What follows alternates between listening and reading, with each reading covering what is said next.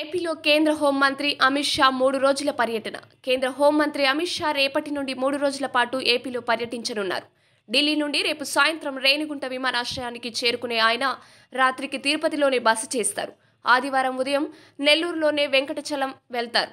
అక్కడ స్వర్ణభారతి ట్రస్ట్ కార్యాలయంలో ఉపరాష్ట్రపతి వెంకయ్య నాయుడుతో కలిసి పాల్గొంటారు. మధ్యాహ్నానికి తిరుపతి చేరుకొని మధ్యాహ్నం మూడు గంటల నుండి ఏడు గంటల వరకు హోటల్ తాజ్లో జరిగే ఇరవై తొమ్మిదవ సదరన్ జోనల్ కౌన్సిల్ మీటింగ్కు అమిత్ షా అధ్యక్షత వహిస్తారు.